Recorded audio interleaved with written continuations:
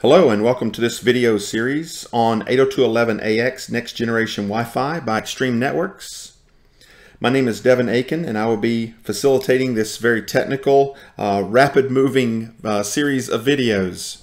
We're calling this one Under the Hood. So without further ado, let's jump right in.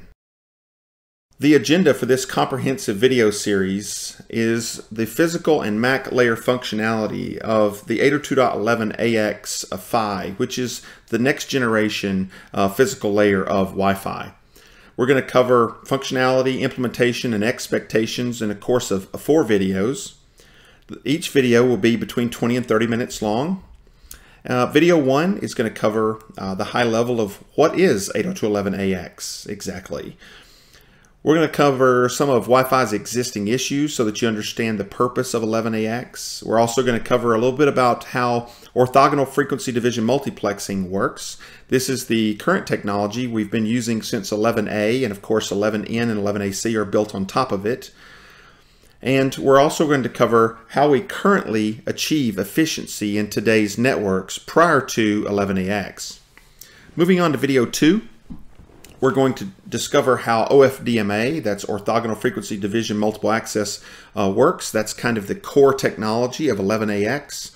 Understand how that works and why that's good, how it gives us uh, better efficiency and better system-wide throughput and better per client throughput.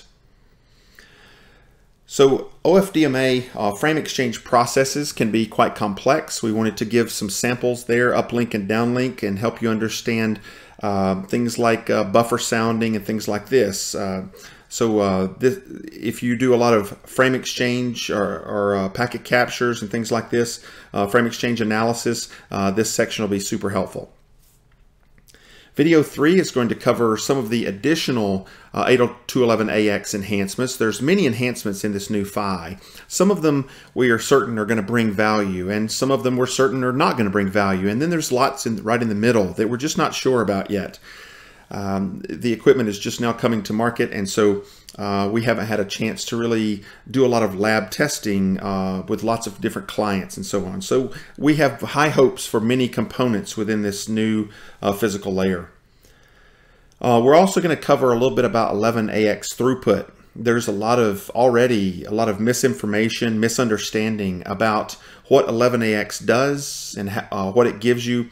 And on top of this, I've already heard such nonsense as uh, the need for uh, dual 2.5 gig uh, Ethernet ports or dual 5 gig ports on uh, access points uh, that are 11AX capable, and that's just simply not true. So we're going to explain why that's not true and help you understand the math of how this works.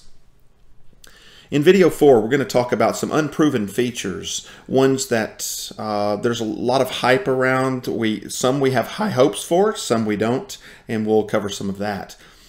11AX has some challenges. We want to talk about the most major challenges, and certainly it has its Achilles heel, if you will. And then when should you upgrade it? You know, people are in different situations, different organizations are in different situations and just running out and buying it for no apparent reason doesn't make a lot of sense. So uh, let's discuss different situations and how upgrading to 11AX uh, now or later would benefit you.